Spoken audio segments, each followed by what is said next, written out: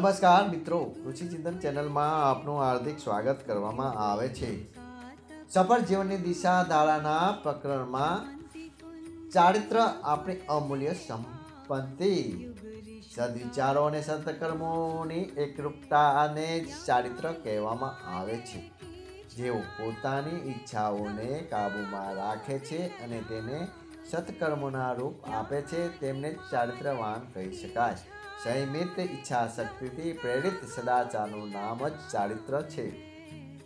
એક વિચારકે કહ્યું છે કે, જો ધન ગયું તો કંઈ નથી ગયું, જો સ્વાસ્થ્ય ગયું તો કંઈ નથી ગયું, પણ જો ચારિત્ર ગયું તો બધું ગયું. સમગ્ર માનવ જીવનને કંઈક સાર હોય તો તે છે મનુષ્યનું ચારિત્ર. સ્વેટ માર્ટને લખ્યું છે, સંસારમાં એવી વ્યક્તિઓની જરૂર છે જે ધન માટે પોતાની જાતને વેચતા નથી. જેમના રોમે રોમમાં ઈમાનદારી સમાયેલી છે, જેમની અંદર જેમની અંદર સત્યનો દીપક પ્રકાશિત છે.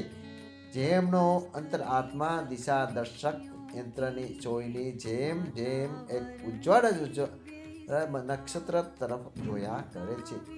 જે સત્યને પ્રગટ કરવા માટે ક્રૂર રાક્ષસનો સામનો કરતા પણ ડરતા નથી. જેઓ મુશ્કેલ કામોને કોઈ જોઈને ડગી જતા નથી. જેઓ પોતાના કામનો ઢંઢેરો પીટ્યા વગર જ સાહસપૂર્વક કામ કરતા જાય છે. તેઓ જ મારી દ્રષ્ટિએ ચારિત્રવાન માણસો છે.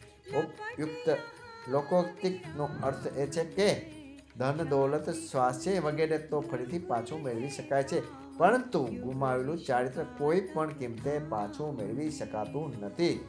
ઉત્કૃષ્ટ ચારિત્ર જ માનવ જીવનની કસોટી છે. આમ, તો ધન, વિદ્યા, કળા, શક્તિ વગેરેનું પણ મનુષ્યના જીવનમાં પોતાનું સ્થાન છે. મહત્વ છે. પરંતુ જો ધર્મબુદ્ધિ દ્વારા, ચારિત્ર દ્વારા તેનું નિયંત્રણ ન થાય, તો આ બધું ઉલટાનું મનુષ્ય અને સમાજ માટે અહિતકારી નીવડે છે. માણસ ભલે ગરીબ હોય, પરંતુ વિદ્વાન, શક્તિશાળી કે પ્રભાવશાળી ન હોય તો પણ જીવનની ઉપયોગિતા અને મહત્તાનો કોઈ ઉણપ આવતી નથી. તેનાથી ઉલટું, વ્યક્તિ આ બધાથી સંપન્ન હોય, પરંતુ ચારિત્રવાન ન હોય તો તે સૌથી વધુ દિનહીન તથા મલિન છે. તેનાથી નથી પોતાનું ભલું થતું કે નથી સમાજનું થતું.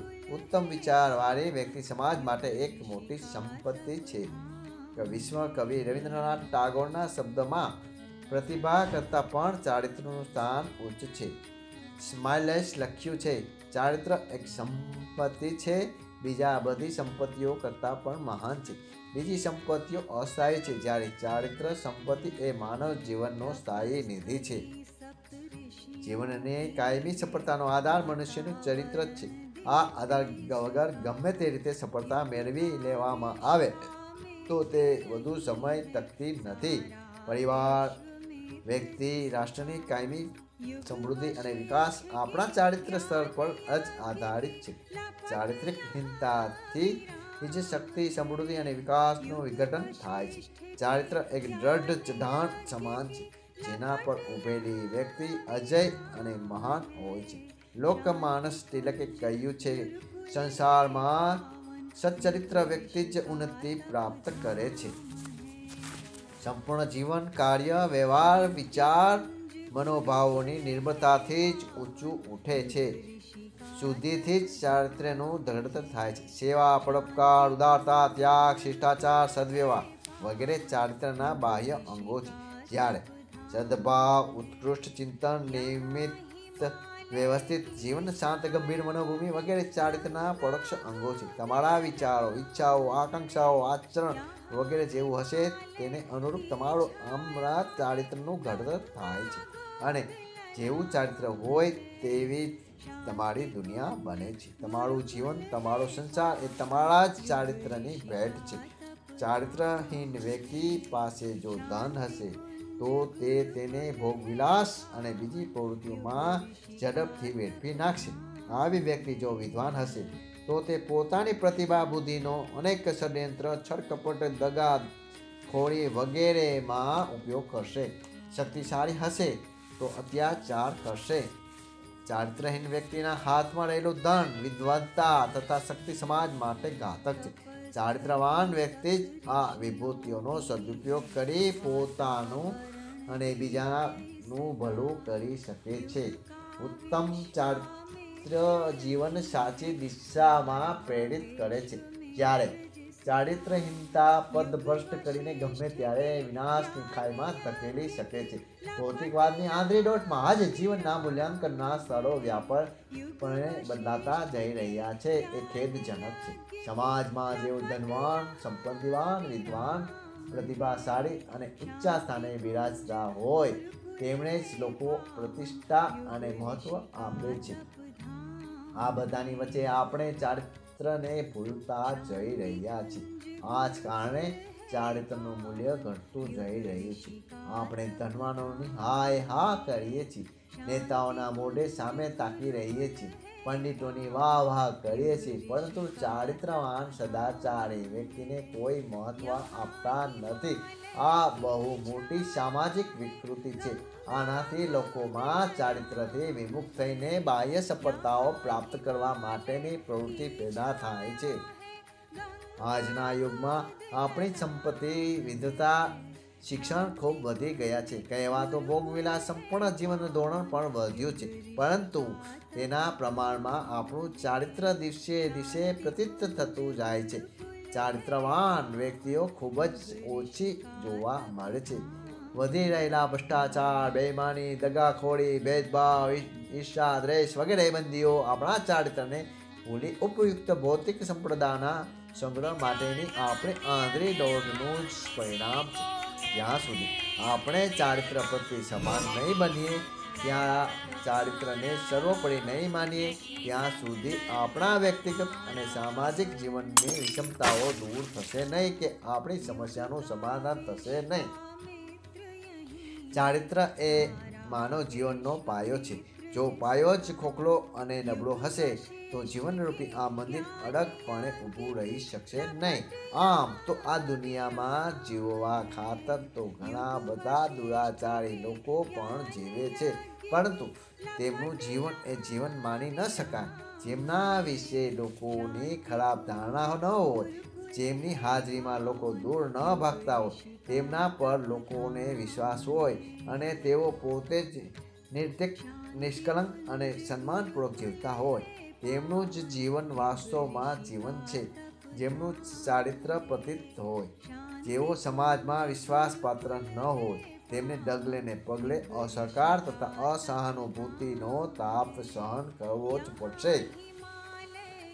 સચરિત્ર વ્યક્તિ પોતાના વ્યવહારથી સમાજમાં બધાને ઝડપથી અને સહજપણે પ્રભાવિત કરી લે છે આ જ કારણે બધા લોકો તેનું સન્માન તો કરે છે.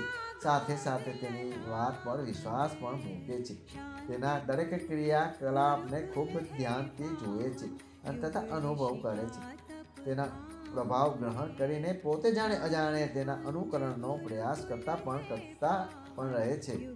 ખરાબમાં ખરાબ માણસ પણ ભલે ઉપરથી માનતો કે કહેવાતો ન હોય, પરંતુ મનમાં ને મનમાં ચારિત્રવાન વ્યક્તિ તરફ આદરનો ભાવ રાખે છે.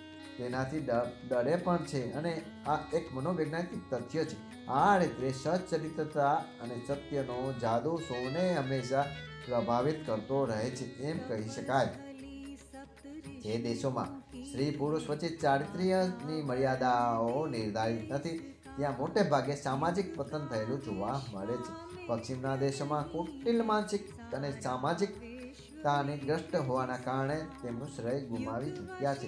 પાશ્ચાત્ય સિદ્ધાંતો પર આધારિત આ દ્રોણિત દુષ્પ્રવૃત્તિના કારણે ભારતીય સંસ્કૃતિ અને સમાજ પણ ઓછા અસ્તવ્યસ્ત નથી થયો. આ ઝેરીલી કામુકતાની દુર્ભાગ્ય પૂર્ણ સ્વચ્છંદતાએ આજે સમગ્ર સામાજિક માળખાને ખોખલું કરી નાખ્યું છે. જીવન અને સમાજ વ્યક્તિઓનો સમૂહથી જ બને છે. એને સંચાલિત કરનાર હોય છે. વ્યક્તિ અને વ્યક્તિઓનો વ્યવહાર, જે સમાજમાં મોટા ભાગના લોકો ચારિત્રશીલ અને નૈતિક દ્રષ્ટિએ ઉત્તમ, પરિપૃષ્ઠ તથા ઉન્નત હોય, તે સમાજ જાતે ચરિત્રતાના ઊંચા મૂલ્યોને સ્થાપિત કરનાર તથા તેનું માન સન્માન જાળવનાર હોય છે. જ્યારે સમાજનું જીવન સચરિત્ર તથા ઊંચા મૂલ્યવાળું બની જાય છે, ત્યારે દેશ અને રાષ્ટ્ર પણ સ્વયં એવું જ બનીને સંસાર સમક્ષ એક આદર્શ સ્થાપિત કરે છે. પ્રાચીન કાળમાં આપણું ભારત વિશ્વગુરુ હોવાનું કહેવડાવવાનું ગૌરવ મેળવી શક્યું હતું. તેનું કારણ પણ તેની સચરિત્રતા અને મહાન માનવીય નૈતિક મૂલ્યોનું રક્ષણ કરી શકવાની સામર્થ્ય જ હતું. હકીકત તો એ છે કે ચારિત્ર્ય હંસ જ ક્રમશ આપણા દેશનું પતન અને પલાયનનું કારણ બન્યું. ત્યારબાદ આપણે સમજીને જ્યારે દેશે નૈતિક મૂલ્યો અને ચરિત્ર રક્ષણનો પ્રયત્ન શરૂ કર્યો, તો તેને એવી શક્તિ પ્રાપ્ત થઈ શકી કે તેના આધારે ફરી એકવાર દેશને સ્વતંત્ર કરાવી શકાયો. ચારિત્ર નિર્માણમાં સાહિત્યનું ખૂબ મહત્વ છે. મહાપુરુષની જીવનગાથાઓ વાંચવાથી પોતાને પણ એવા બનવાની ઈચ્છા થાય છે. વિચારોની દ્રઢતા તથા શક્તિ પ્રદાન કરનારનું આવું સાહિત્ય આત્મનિર્માણમાં બહુ યોગ- યોગદાન આપે છે. તેનાથી આંતરિક વિશેષતાઓ જાગૃત થાય છે. શાળા પુસ્તકોમાંથી મળતી પ્રેરણાઓને એક સાચા મિત્રનું કામ કરે છે. તેનાથી જીવનની સાચી દિશાનું જ્ઞાન થાય છે. તેનાથી ઉલટું અશ્લિત સાહિત્ય અધપતનનું કારણ બને છે. ચારિત્ર રક્ષા કોઈ પણ ભોગે કરવામાં આવતી હોય છે. આથી નાના નાના કાર્યોની પણ ઉપેક્ષા કરવી બરાબરી નથી. આપણી વેશભૂષા, ખાનપાન, ઉઠવું બેસવું, વાતચીતની રીત, મનોરંજનનો સમય વગેરેની મર્યાદાનું પાલન થવું જોઈએ. પોશાક તથા આહાર, સાદગી અને સરળતાથી વિચારો પણ તેવા જ બને છે. માદક અને ઉત્તેજક પદાર્થોનું ચરિત્ર અનબળું પડે છે અને પશુવૃત્તિ જાગૃત થાય છે. ચારિત્ર્ય મનુષ્યની સૌથી મોટી શક્તિ અને સંપત્તિ છે. સંસારની અનંત સંપ્રદાયોમાં માલિક હોવા છતાં પણ જો કોઈ ચારિત્રહીન હોય તો તે દરેક રીતે વિપન્ન જ માનવામાં આવે છે. પરંતુ ખેદ સાથે એ સ્વીકારવું પડે છે કે આજકાલ લોકો ચારિત્રિક પતનનો એક એક નવો દોર શરૂ થયું છે. જે ક્યાંય થોભવાનું નામ લેતો નથી. આજે સમૃદ્ધિ વ્યવસ્થા એટલી હદે ભ્રષ્ટ થઈ ગઈ ચૂકી છે કે કોઈ વ્યક્તિ માટે સચ્ચરિત્ર તથા બધા પ્રકારના નૈતિક મૂલ્યોથી સંપન્ન બનવાનું ઈચ્છવા છતાં પણ શક્ય રહ્યું નથી. આ જ કારણે આજે ચારેય બાજુ મૂલ્યહીનતા તથા આચાર વિચારથી ભ્રષ્ટતાનું રાજ્ય ચાલી રહ્યું છે. ક્યાંય તેનો અંત દેખાતો નથી. ફરી એકવાર સહજ માનવીય ભાવનાઓ મૂલ્યો અને ચરિત્રને જગાવીને જ આજના અરાજકતાપૂર્ણ વાતાવરણમાં છુટકારો મેળવી શકાય છે. હવે, આ જવાબદારી યુવા વર્ગ પર આવી પડી છે કે દેશનું ચારિત્ર ઊંચું ઉઠાવવા માટે સ્વયં પોતાનું ચારિત્ર્ય ઉજ્જવળ બનાવે તથા બીજાઓના ચારિત્ર્યનું રક્ષણ કરે. લોક નેતૃત્વ કરવાની તથા સમાજની દિશા બદલવાની શક્તિ માત્ર ચારિત્રથી જ પ્રાપ્ત થઈ શકે છે. ચારિત્ર બળ એ સંસારમાં સૌથી શ્રેષ્ઠ બળ છે અને બધી જ સંપત્તિઓમાં મૂલ્યવાન સંપત્તિ છે. આ નશ્વર માનવ જીવનમાં ચારિત્ર જ એક અમર ઉપલબ્ધિ છે. તે મનુષ્યને નરમાંથી નારાયણ બનાવી દે છે. જય ગુરુદેવ જય ગુરુદેવ જય ગુરુદેવ.